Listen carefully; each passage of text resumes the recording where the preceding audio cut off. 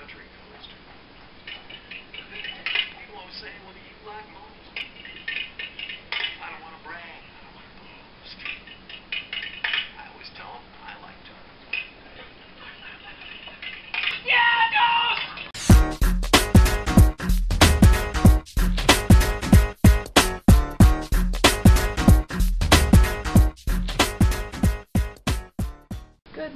Everybody. For starters, I just want to let you know that I did weigh in this morning, and I lost exactly two pounds. Last week I was 293.4, and this week I am 291.4.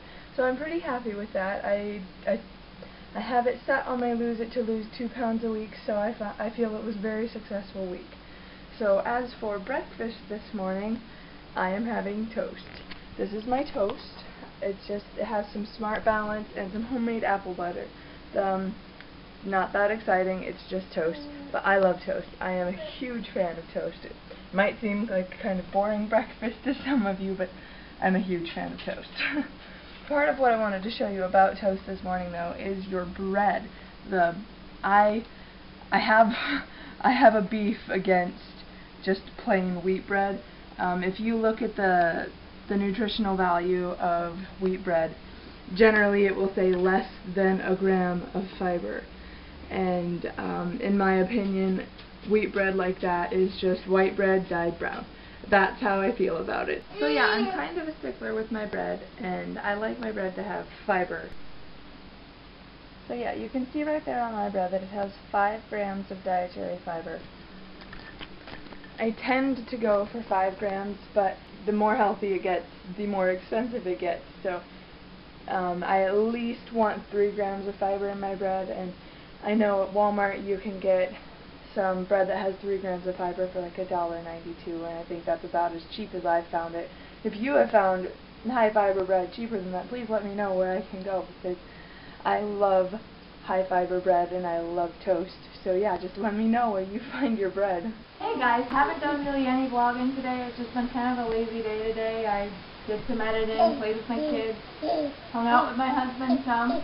So right now I'm just going to show you some basic exercises that you can do from home. I me grab my weight here. So if you just have any ordinary cans, these are green beans. So just take your cans, and these are going to be some upper arm exercises. So you're going to want to do is, I'll, I'll stand sideways so you can see what I'm doing. You're going to want to take them up above your head, and bend back behind your back, and go back up. The first couple of times it's not going to seem like it's really doing much, but what I'm going to have you do is do 20 reps of them and three sets. So after each set of each set of 20, take a 30 second break and then do another set of 20. By the end of it, you'll feel the burn. So I'm going to go ahead and do that right now.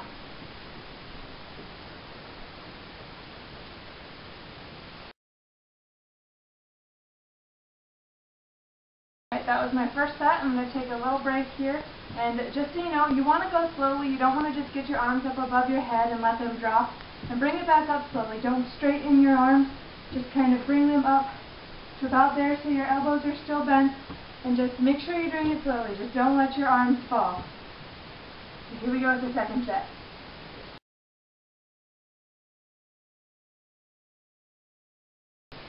Alright, there was my second set. By now you should be feeling a little bit of burning. Um, if not, then maybe you need to go up to a bigger size can. Or, I mean, it doesn't have to be a can. You can use whatever you have around your house. Cans are the easiest because most people have them laying around their house. So if, if, it's, if it's not giving you the, um, the word I'm looking for, if it's not giving you the result you're looking for, just go to a bigger size can. So here we go with the last set.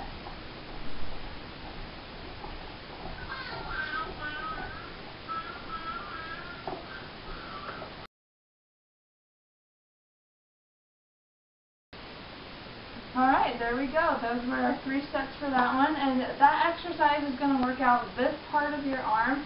I very much dislike this part of my arm. Um, it's one of my big problem areas. I know that a lot of other people struggle with that part of their arm too, so that is a perfect exercise for that. If you're feeling like it wasn't enough, you can go up, like I said, go up to a different size can, but be careful if you are just starting out, you don't want to overdo it your first time exercising in a long time because then your body is just going to be in screaming pain for a few days and you're not going to want to exercise again. So just make sure you take it easy, especially when you're first starting out because you don't want to overdo it and ruin your chances of working out again anytime soon. Okay, so the next one we're going to do is, it'll be the same thing, 20 reps, well they're not really reps I guess, 20 circles, 20 circles and 3 sets. So what you're going to do is you just take your hands out to your side and just go in small circles. One, two, three, four.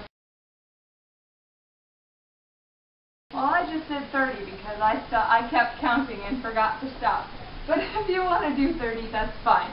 Just make sure you're doing what your body is comfortable with. I have a munchkin. Alright, go to your next set. And you can go backwards too. You don't have to go forward.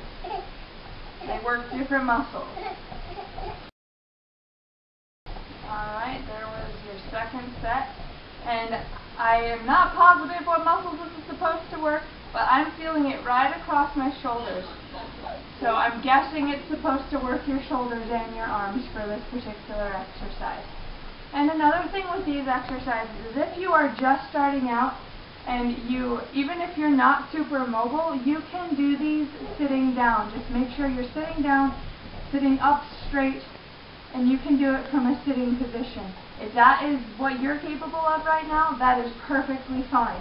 If you can't do as many reps as I'm doing, that's perfectly fine. Anything is better than nothing. All you can do is try. So here's the last step. Alright, there we go. So those were some arm exercises. I never work out my upper body and lower body on the same day, so I tend to work my core muscle with my upper, with my arms, and then I'll do the legs on a day by themselves. So I'm going to show you one of my favorite core exercises right now. And I haven't done it in a really long time, so it might look ridiculous, but we're doing this together, right? So let's give it a go. Alright, so here we are on the floor, and this is my dog. River, get up. Go on, good girl. So I'm going to do the ab exercises last, but first I'm going to do some push-ups. Now, I don't know about you, I have never ever in my life been able to do a full-on real push-up. It has just, I've, I've never had upper body strength, so I've just, I've never been able to do a full-on push-up. I don't even know how many girl push-ups I can do. So I'm going to give it a shot here and we'll just see how many we can do together. So do as many as you can, do one more than you think you can, and then stop. And do the same for your other two sets. So here we go.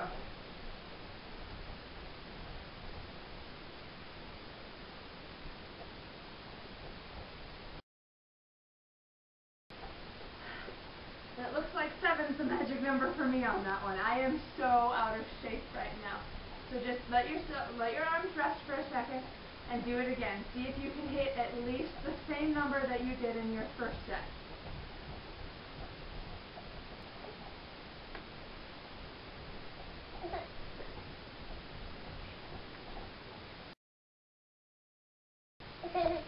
Oh, goodness gracious.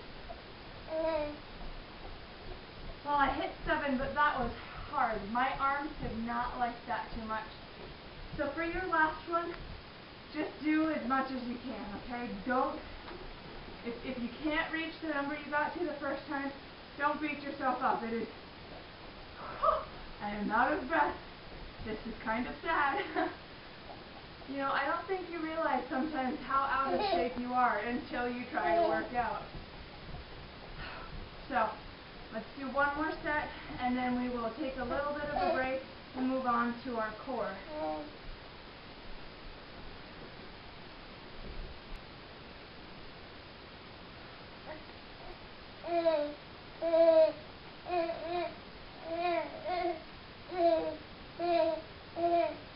Ah, Try to do one more.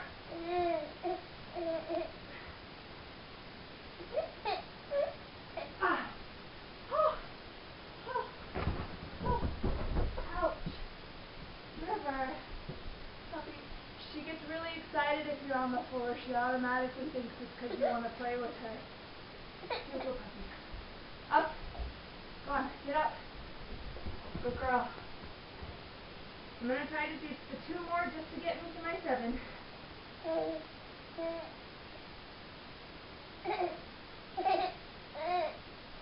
Ah. Oh. Whew. All right, that was fun. Hi. All right, guys. So this is my husband Dan. Hi.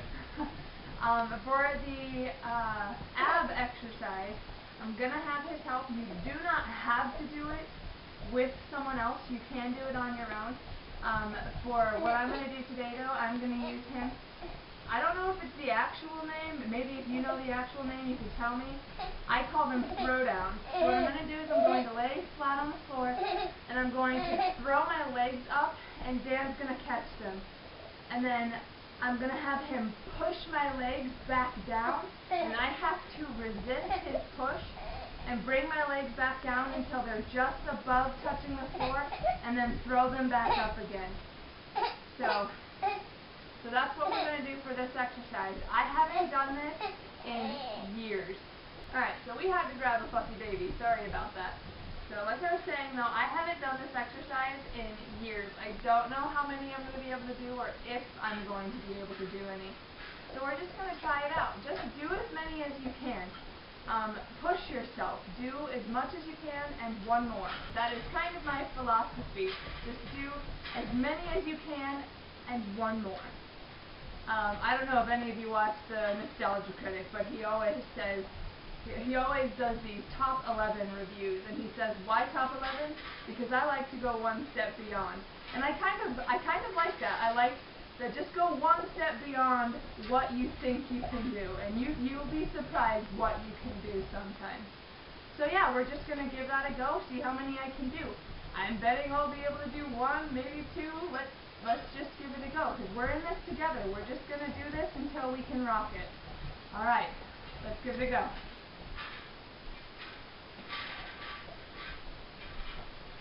River is going to be in my face. Okay, move over. Hey, River, come here. You wanna stay on the couch? No.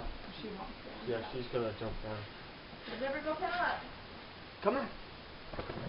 Let's... Ouch. You want the bone? You want it? We'll go.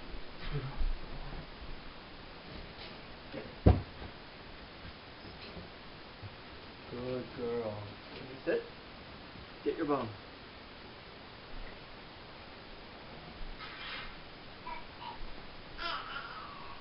Okay. Okay. So, Dan come stand behind my head. Oops. Back forward, back forward, back forward. Alright. Ow, you stick my hair. okay.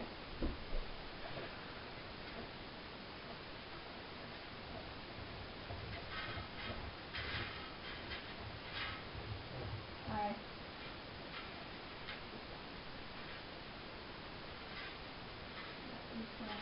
I'm gonna kind of hold on to his legs. I'm kind of doubting my abilities right now. Alright. And make sure you breathe throughout this. Do not hold your breath.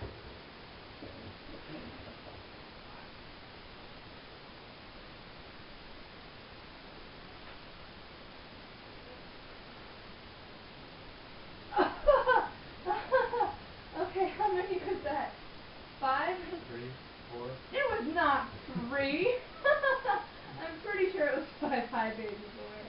I have a visitor. Hi. So I think I did five. I hope I did five and not three. That would be embarrassing. Now, in this instance, it does help to have someone behind you because it gives you something you can grab onto.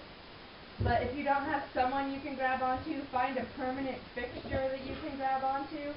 Because right now I'm noticing that I am not in the shape to do it without using my arms to help. And that's okay. Do not think it's not okay. So you are still getting a workout even if you're using your arms to help you right now. That's right, Calvin. Alright, so here we go with our second set. So here we go with our second set. So I'm going to bring my feet up, and Dan's going to grab my ankles, and then push them back down. Okay. Oh, I'm so weak.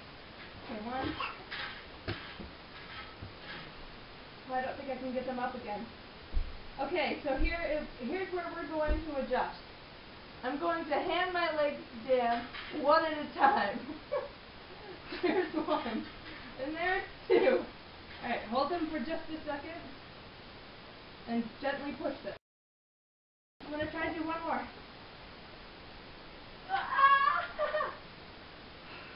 Okay, and don't just let them drop. Bring them slowly whew, back to the ground.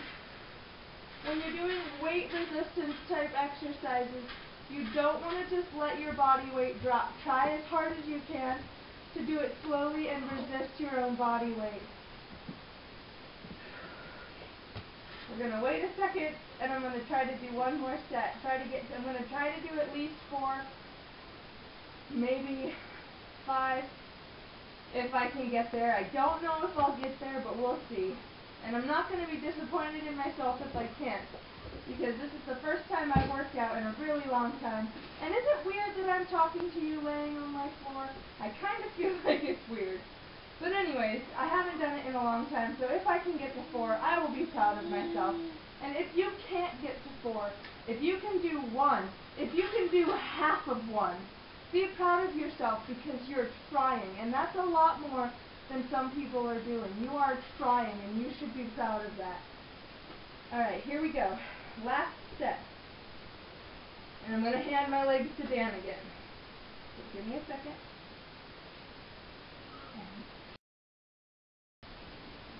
I'm going to try to do one more. Maybe one more. Hold on, hold on, hold on. One more. No. Okay, I'm done, I'm done. And slowly. Woo. There we go. There we go. All right, guys. Out of breath? That is okay. I'm out of breath, too. Whew. Yeah, so just keep trying. Do not give up. Like I said, you can do more than you think you can do. Um, I'm, I'm going to end the vlog here tonight with my husband, my wonderful husband. He's being so supportive of me doing this vlog, and Calvin is being supportive of me doing this vlog. As you can see, I'm doing these exercises in my living room with my kids, with my dog, with my husband. You don't have to be at home by yourself to do exercises. If you have, if you've talked to your family, if they're supporting you, then just do it in front of them. It is not that big a deal. Um, I just want to let you guys know that I think you are awesome. You know why? Because you're watching this video. That means you are interested in yourself. You're interested in getting yourself to the best self that you can be. And sometimes, I mean, you have to start somewhere. And if it is just an interest, that is awesome. You are awesome. You can do this. If I can do it, you can do it. I have gained, what, like 80 pounds since I had my, since my husband and I got married. My husband and I got married three years ago. I've gained 80 pounds and I haven't really worked out since we got married. And I'm doing this. And if I can do it, so can you. And your interest in this proves to me that you can do it. You are trying to better yourself. And that is such a wonderful thing to do. You have to do this for yourself. Don't do it for anyone but yourself.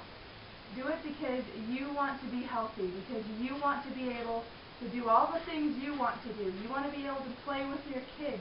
You want to be able to go on hikes. You want to be able to just go on a walk and be able to have a conversation. Some of these things are things that I haven't been able to do. And I struggle with them daily. And I am doing this for me. My husband tells me all the time that he is supportive of me and that but that he wants me to know that I don't have to do it for him. He loves me no matter what. He told me once, that I could probably gain a hundred pounds before he would start thinking I needed to, I, I should do something about my weight. That's just how sweet he is. And you know, but you have to do it for you. It has to be about you. Think of yourself. I know sometimes, especially as a mom, you put your kids first. It's hard to find a time to work out because your kids are constantly there. My kid is right here, one of them. The other is in bed right now. But my dog, you saw her, she was all over me. You have to make the time for yourself. It is so important. Your health is so important because the healthier you are, the more you're going to be able to be there for the ones that care about you. I hope you guys are doing well. I hope this has been motivational for you. I hope you've been able to start your journey. And if you haven't started it yet, start. Start today. Don't wait till tomorrow. Start today. I know a lot of times I'm like, okay, I will start on Monday because that's the beginning of the week. I do that to myself all the time, and you need to get to a point where you're just like, no, I will start today. You have no control over what happened yesterday. It's okay if you didn't start yesterday. You still have today. Start today and do awesome. Be awesome. And keep on keeping on. And I will see you in the next.